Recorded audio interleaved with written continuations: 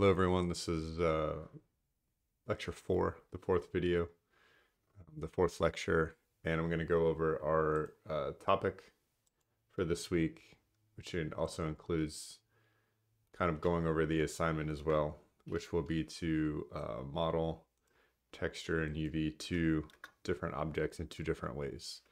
So previously we did really simple UV unwrapping, UV maps, where we modeled something and then we UV mapped it to the UV color grid, which gave us a sense of uh, proportion and texture resolution.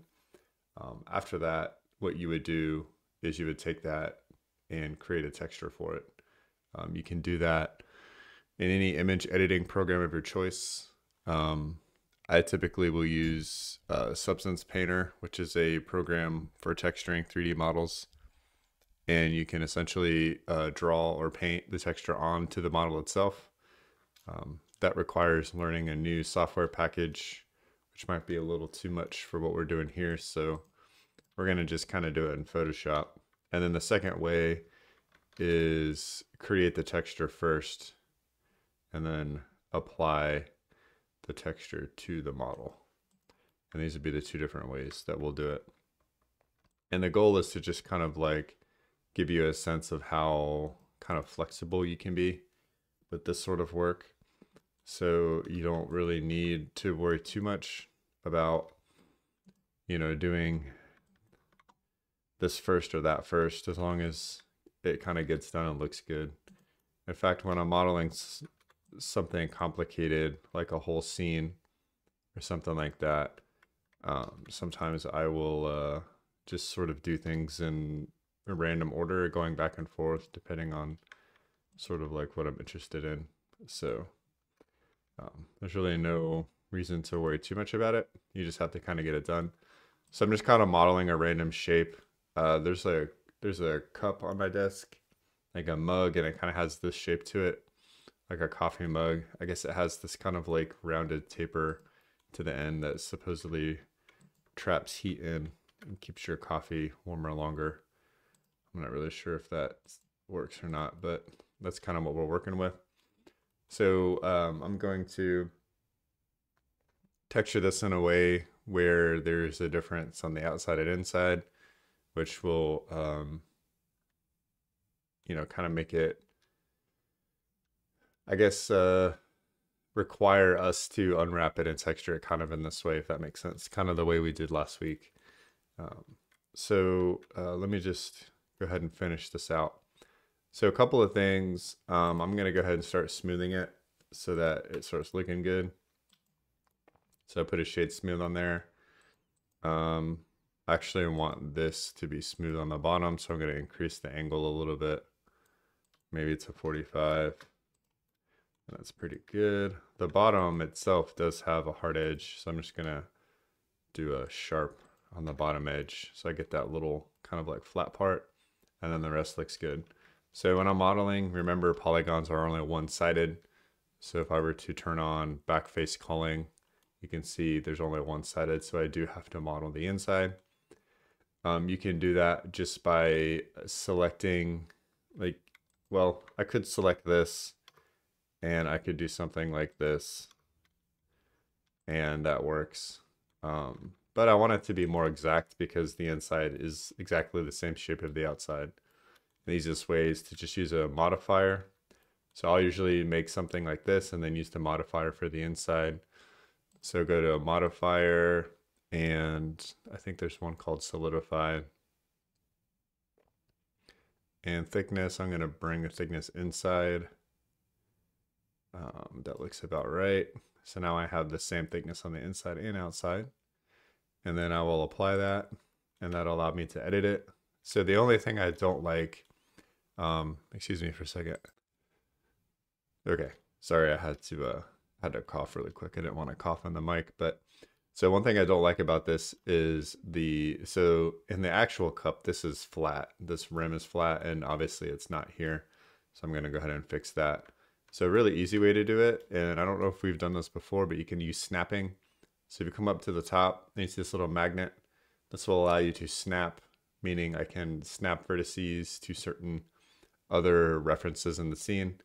So I'm going to click on the settings, switch it to vertex, and then turn on snapping. So that means if I were to move a vertex, it'll snap to other vertices, which can be handy sometimes. Um, what's also handy is you can use it to snap on individual axes. So I could move on the Z axis. And then if I hover over this other vertex here, it'll snap the height to the same as that one. And then I get this nice flat edge on top, which is kind of what I'm looking for um, for this little cup thing. I don't know what this is. Um, all right, so now to UV map this, you go to UV map mode. Um, you can make a UV unwrapping texture if you want to. I don't do it that often because I kind of know what it might look like, but I'll do it just in case if you want to do it. So color grid, making an image, uh, okay. Come over to your model, go to base color, image texture, and then we already created it. It's in the Blender scene, so we don't need to make a new one or open anything. We just have to click right here. Sorry, my chair is squeaky. Um, and then click UVs, and there we go. Um, so pull this down, turn on texture, and then there's, actually it doesn't look too bad, honestly. The inside is backwards, but we can fix that. So uh, we're going to vertex mode. Um, first of all, I'm going to grab the bottom and since the bottom has this hard edge, I might keep, well, there's like a, so uh, let me just kind of show a couple of things here that might be, um, hold on a second. Ah. Okay, hold on.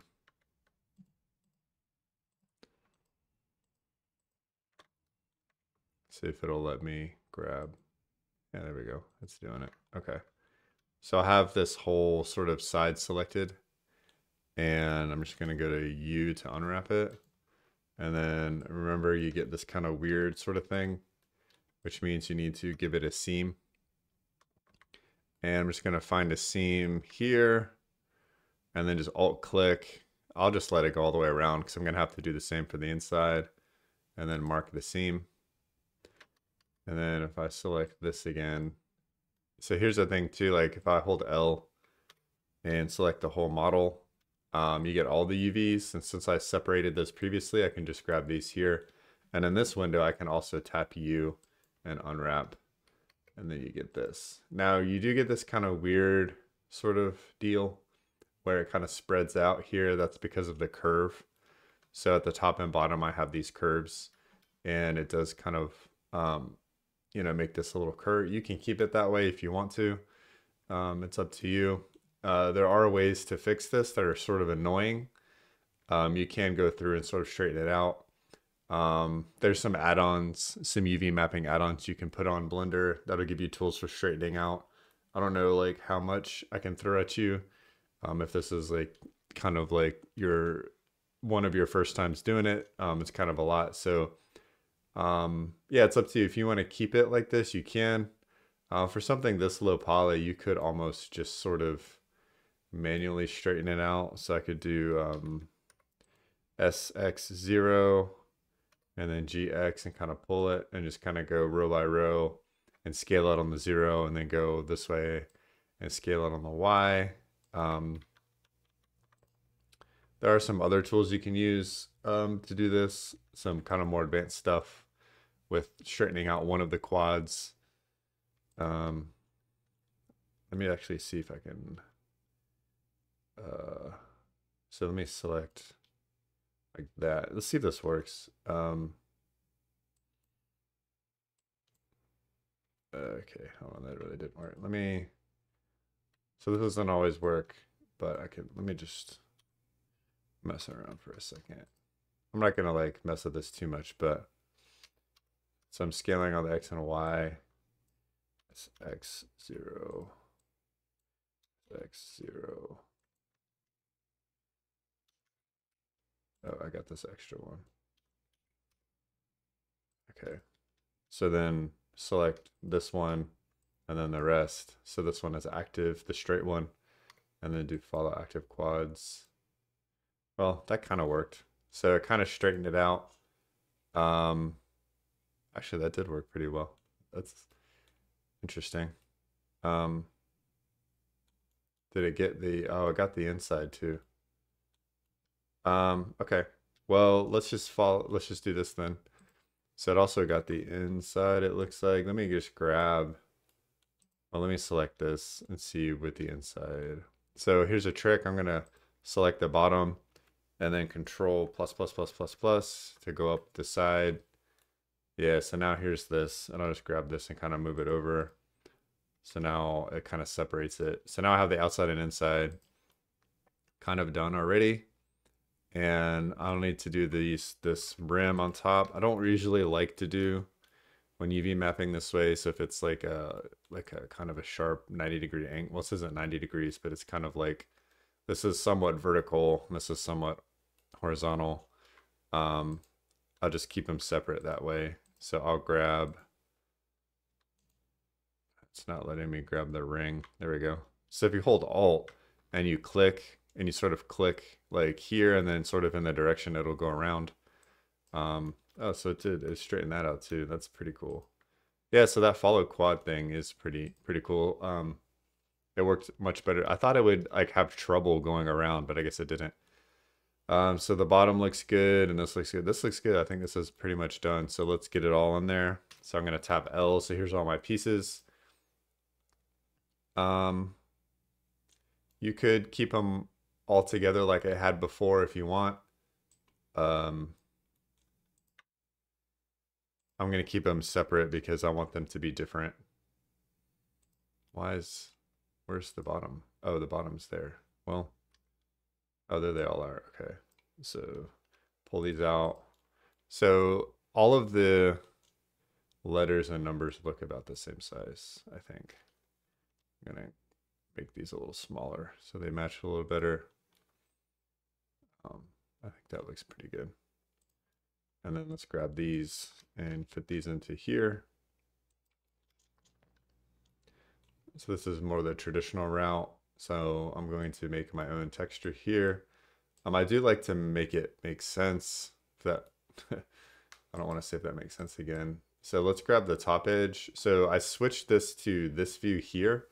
So this is UV sync selection, which means it keeps the UVs visible in this view. And I can kind of see like where stuff is. Um, so I'm just keep, kind of keeping a mental note. I think it makes more sense to orient these um, horizontally. So that's the bottom. So let's flip it. So now this is the top. Uh, just texture wise, it makes more sense that way. So I'm going to do it that way. So I'm going to rotate them horizontally. That way, when you make your texture, you don't have to sort of visualize yourself flipping it while you're making it. And then let's do the same thing for this. So which which side is the top? Um, this one is the top. So this needs to, oop. yeah, so that's the bad thing about this view is it will break it apart. And if you're in vertex mode, it'll select vertices that are attached to each other, which can be annoying. Um, but if I'm just in face mode and I grab all of this, it should be okay. So I'm going to rotate this. Um, wait, which way? This way? Is this the top? Yeah. Okay, this way. This way. Sorry, I'm confusing myself. Um, and then just tap type 90 in there just to make sure it's nice and exact and then move it into place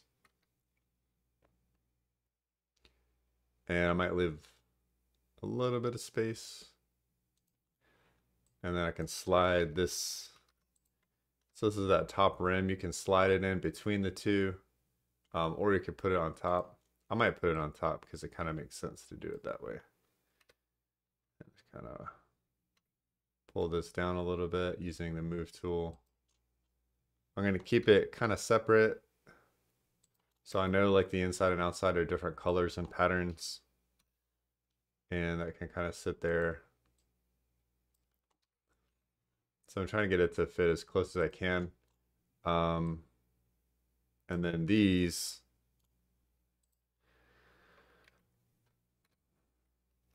there does need to be a little bit of space so they can't be like exact on top of each other. So when you're making an image texture, there is a little bit of anti-aliasing, which will blend kind of blend them a little bit, but that's probably good. And then I can throw these in. And I'm actually going to scale these down a little bit because I don't really care too much about how big they are. They should be close. They're pretty close. They're actually they're pretty much they're pretty big. But, you know, are you really going to see the inside of the cup? I don't know. It's close enough, I think. And you won't be able to really see the inside or the bottom too much. So I think having the outsides is more important. So now this is unwrapped. So from here, this image you can bring into Photoshop or any image editor of your choice, and you can texture it and bring the image back into Blender um, if you kind of know where things are, you can sort of do it that way. Um, like I said, my favorite way is Substance Painter, which is, you know, something we haven't gone over yet. But if you have an Adobe subscription, then you can use Substance Painter. It's um, was purchased by Adobe, so now they sort of control it. Um, but if you want to keep it, you know, just kind of one thing at a time, then you could just bring this into Photoshop or any other image editor that you use. There's some free ones online. I know some of you like Clip Studio and Krita and some other sort of free options, and those are all fine. Um, I've even had people use Procreate. They've taken sort of like an image into Procreate and then like painted the texture on top of it. Um, something you can do for assistance if you go to UV um, actually, let me go to, let me go select these. You can go to UV and where is it? Export UV layout. And I could just kind of like make a, um, PNG is fine. This is fine. And I'll call this mug UVs. And it's going to give me a PNG and just export the layout. So what that gives me um, if I open it, so let me open it really, really quick.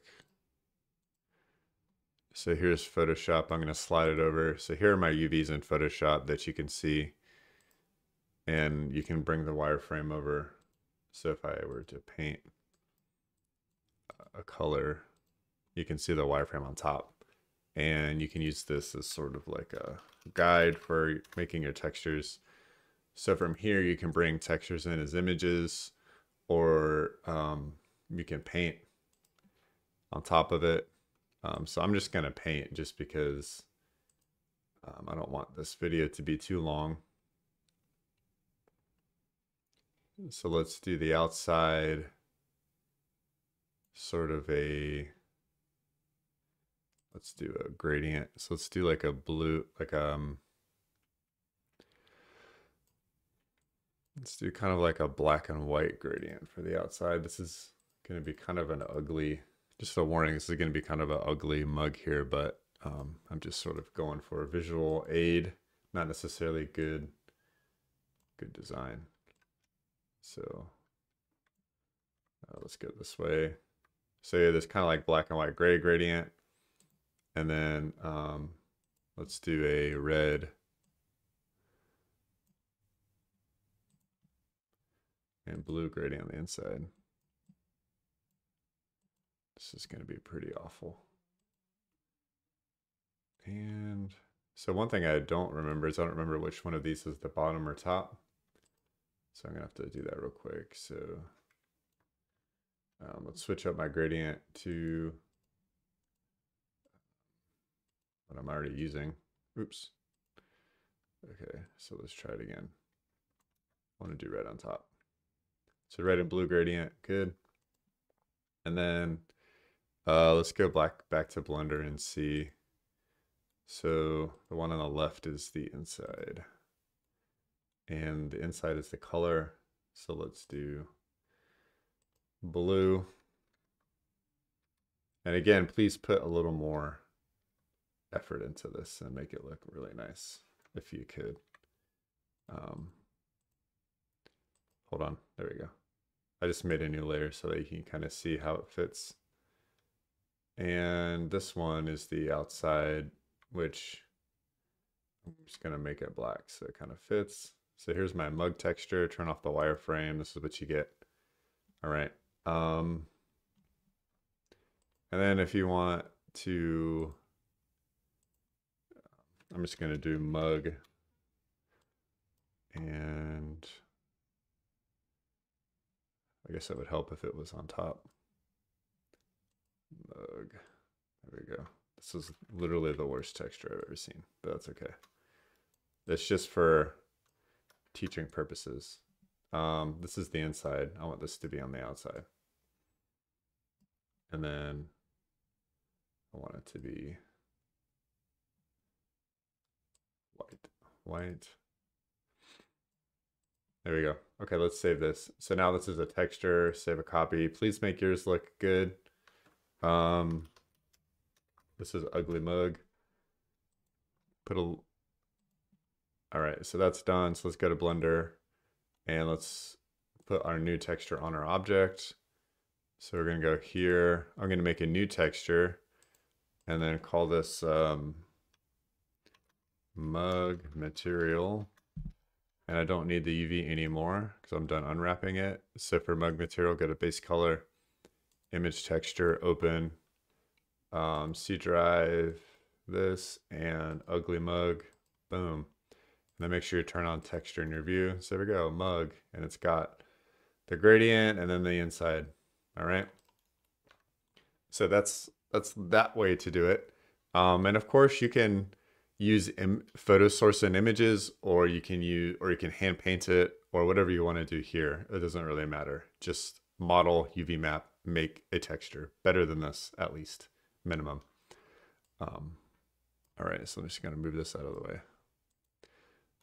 So now the second way i'm going to hide this is to create the texture first.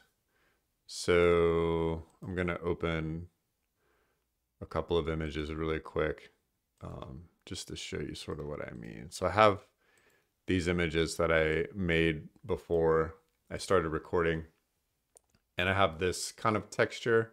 So um, sometimes you can make multiple materials for objects. For example, if I were to do a, a well, I could do a brick and then some wood for like the beams and the little roof thing, and then maybe another one for shingles, and that's fine.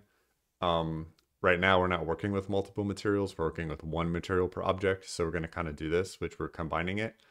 So I made this brick texture in Photoshop just with a couple of painting on top of some photos and using some masks and things. And then I have this wood texture that I created in the same way. Um, there are some free websites that you can grab texture images from, and I'll show you those really quick. Um, so here's a couple of them. Texture Ninja has some, so they have these different categories that you can grab textures from. Um, you may have to make an account to download them.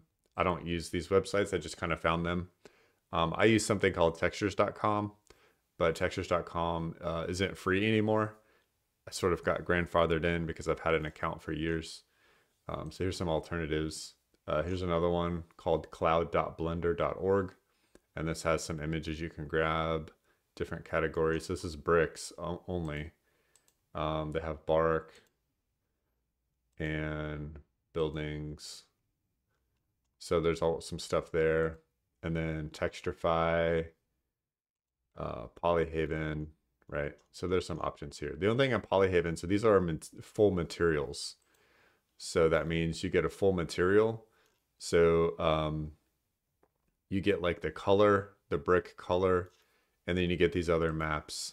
Um, this is a normal map, which the normal map will give you like an illusion of uh, like bump to the surface. Like lighting will hit the surface and kind of give you the illusion that this detail, these details are on the model. And then roughness, which gives you like the shininess variation, how light will reflect off of the surface. So um, we haven't got into that yet, so don't worry about this. All we need is just color for now, and then we'll get into the more advanced stuff later. Um, so you can check those out. If you do end up using that, please don't just drop an image on there. At least bring the image in some editor and kind of make it your own thing. So blend images together, paint on top of it, whatever you need to do to make it your own thing is all I ask. Um, otherwise, you can grab those free images and kind of make what you need to make. So here's I also have this other example. Um, this is like a an ink and marker texture that I drew on paper for a previous project I was working on and then scanned it in. And then you can see you can also use this in the same way. So these are two completely different styles. Um, just to show you that you don't have to do like this kind of like photorealistic style. You can paint it too if you want, like kind of a hand painterly look. Um, either way, two different styles. Um, and I'm making the texture first. So um, I sort of had it in my head like a well, start out making a well. And a well uh, is a pretty standard thing that game artists make early in their 3D modeling journey. So I thought it would be um, a good example there. And I know that I'm going to need wood, I'm going to need brick. So that's kind of where I started. Um, so anyway, I'm just going to go ahead and close those and show you how to start with the texture first. So thinking of a well in mind, um, start with the cylinder. I'm going to do 24 because it's a little bigger, make it look a little more, yeah, bring it up and put this on one. So there's this shape and I'm going to um, go ahead and auto smooth it. I'm going to take off the top. Um, here we go. So when I do this, I will make, I'll kind of get a shape and then I um, make the texture first. So remember two, one model UV map texture second, and then the second object, make the texture first and model the object to the texture, right? Um, so I'm gonna make a new material and call this well material. I'm not gonna model the whole well. I'm just gonna kind of get you started. Um, and you don't have to make a well either. You can make whatever you want, um, but something in sort of the same level of simplicity. Image texture, open. So let me grab my well. Uh, I'm gonna do the realistic one first. Um, I think it's brick wood. So there we go. It's mapped, sort of. Not, not really. So I can go to UV editing. And I'm just going to kind of UV edit as I go. Um, so I'm going to grab the sides, which is here. And I can, if you select here, I can choose the brick wood. And so I can put that texture on the background. Um, I'm actually going to move this out of the way. And I'm going to move this down so that it rests on the bottom.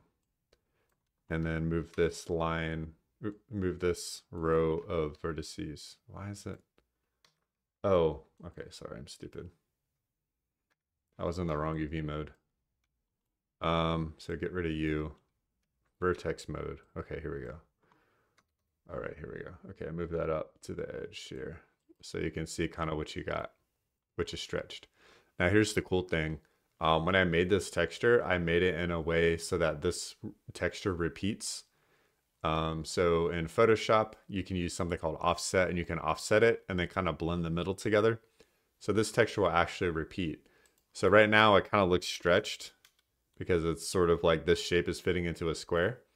Um, but I can actually, and this is something you do a lot with like environmental or architectural pieces. I can grab these and I can scale on the X and you can see it will go outside of the square. But since this pattern repeats, you don't have any like harsh seams. So I could do two, which will double it. And that looks better, looks more in line with what I'm doing. And if I were to sort of turn off, you can't really see it. You can kind of see a little bit there. Um, yeah, you can kind of see a seam right there, but that's okay. I can always fix that. Um, but otherwise, it looks generally pretty good. The inside as well. Um, and then here's a little trick um, to do like the top. So if you wanted to have like a top rim and then extrude it down, here's a trick for that. So if you were to just select this and kind of, oh, hang on, and do something like that. Ugh, I have it snapping. Okay, so what was I doing? S and you pull it in and then you extrude it down and you get this kind of stretched because it's like stretching it. Um, so that can be sort of annoying. So what I would recommend instead is you could um,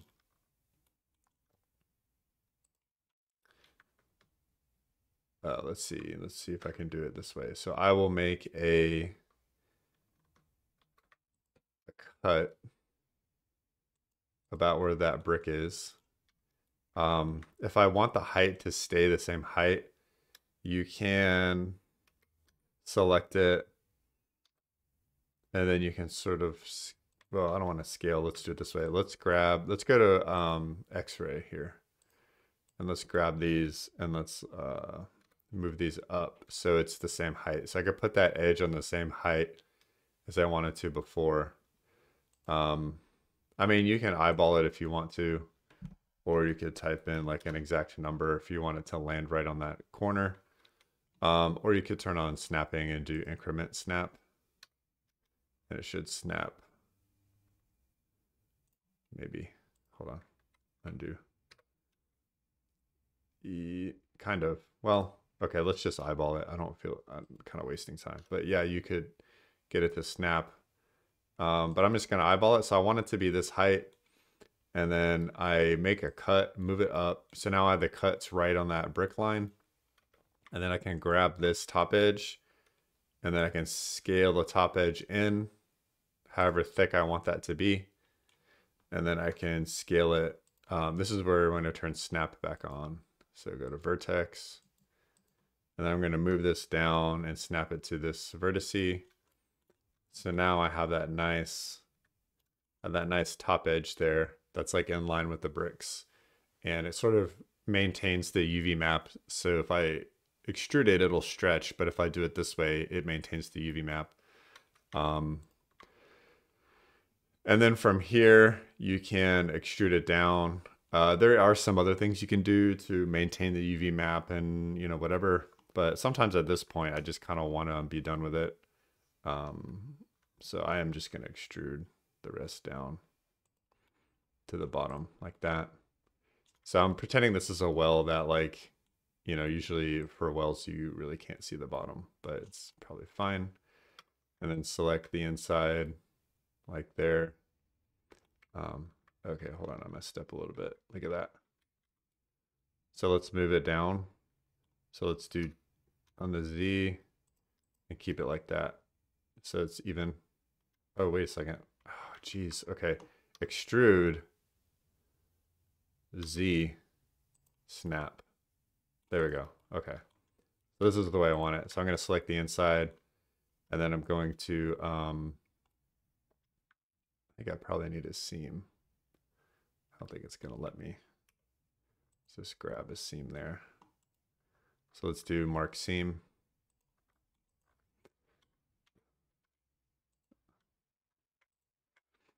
And then unwrap it. And then I'm just going to have to flip it, rotate 90 and kind of move it in place. Did I do it upside down? Yeah, I did. Okay. That's okay. 180.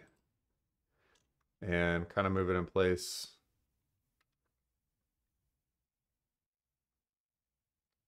Um, so you can be exact with this too if you want to. You can turn on um, snap and you can snap it. But I don't sometimes I just eyeball it really so it doesn't have to be exact. If you kind of get it generally, it's probably pretty good. And then this was scaled on the X um, by two. And then now you get the inside and outside that matches pretty good. Got a nice little shadow there. And yeah, so, and then from here too, if you wanted to like, you know, add a little bit of So let's do like a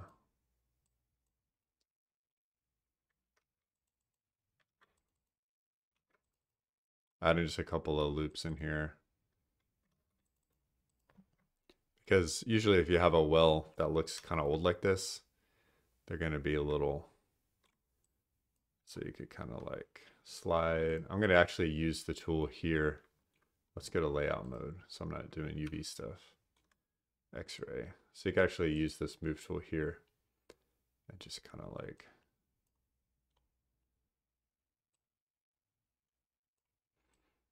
move shift stuff a little bit so it looks a little unstable. Maybe scale a little bit.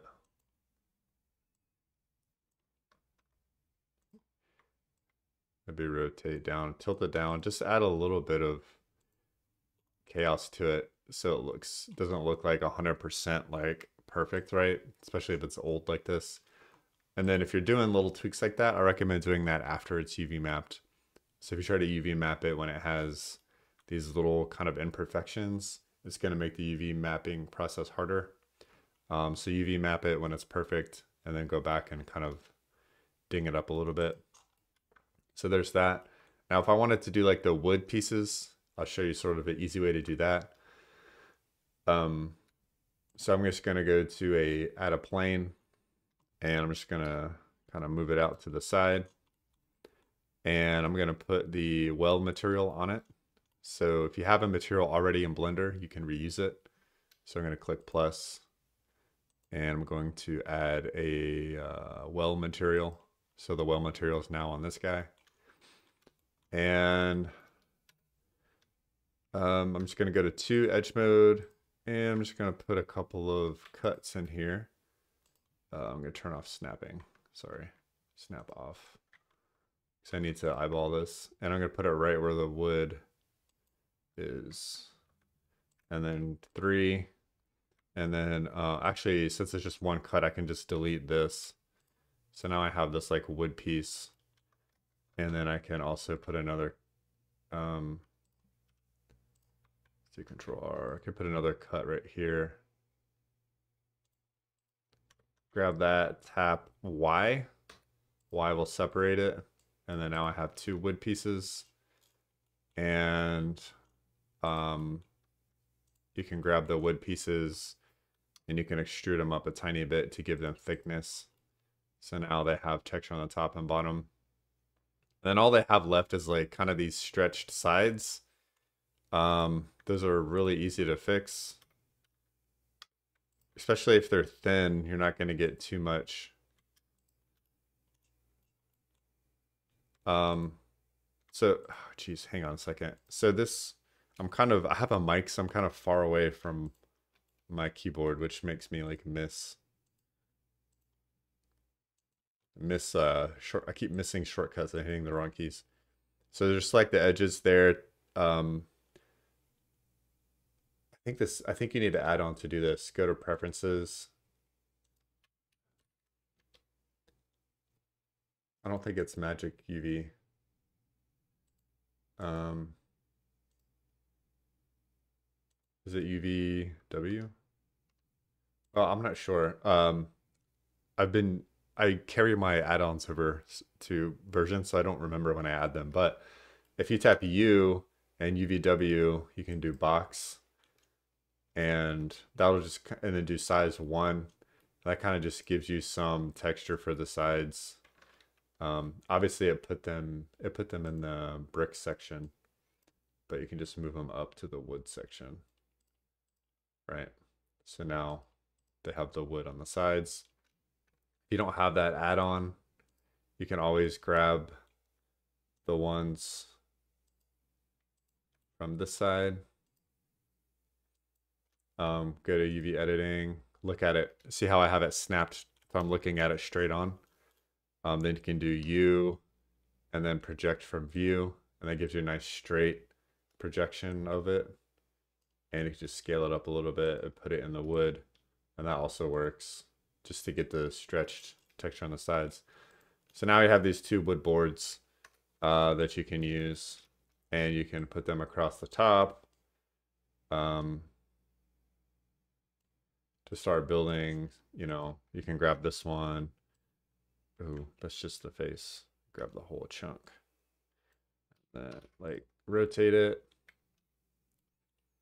Um, let's see, R90. There we go. So vertical, and you can use these to start building like your little roof structure and moving them around and duplicating them and things like that. Um, so, so yeah, there you go. Um, if I were to, and this works for any style, right? So if I were to go to well and go here and change it to my stylized ink, you can see it kind of works the same, right? Except I think it's not quite the same size, so you might have to go into UV editing and uh, switch this to ink. And you might have to kind of like uh, maybe grab these, put these in here. You know what I mean, right? Just kind of because they're not exactly the same size, but um, so like those could be sort of mapped on different areas, and it works the same way. So, um, so there you go. That hopefully that helps UV mapping in two different ways.